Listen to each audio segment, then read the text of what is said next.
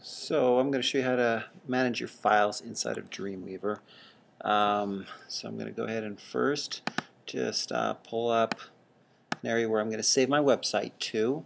Uh, and I'm just going to right mouse click and go to new folder. And I'll just go ahead and name this uh, website.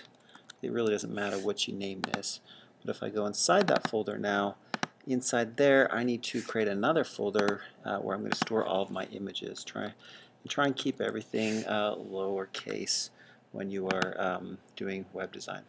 So that gives me a website folder and then an images folder where I'll place all of uh, my images in there.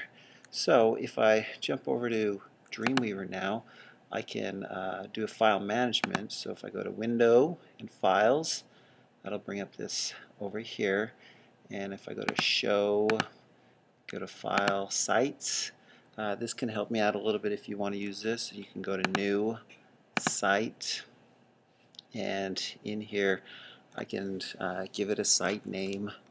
So I'm just going to leave it untitled, but you would figure out yours. And I'm on Advanced over here. Basic does a lot more stuff that you can use, but I'm just going to use the Advanced tab.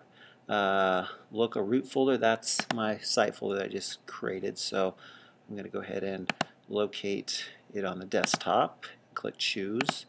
And I also have a default images folder. Choose that one and click choose. And I'm going to leave this stuff alone but if you had a website you can actually link it directly to this depending on your FTP uh, server. So that gives me uh, the name of that. I'm to click done.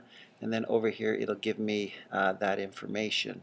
So I'm going to go ahead and just inside of Dreamweaver um, I'm going to go ahead and, oh, I accidentally closed that. Let me bring that back up. Over here, let me just open up a brand new document. So file new or HTML. That'll get me a new document and I'm just going to do a file and save or save as and name this index.html and it's already directed me right to my website folder so that's good.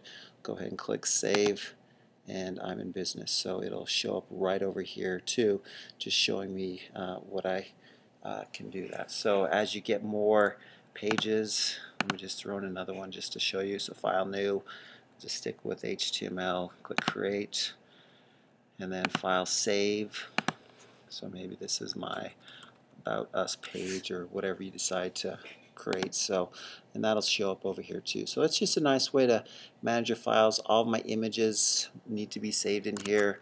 Uh, if I come back into here and I um, start putting my JPEGs, GIFs, whatever is going to be related to my website uh, to save in that. So stay organized with file management so that uh, you don't get a bunch of broken links.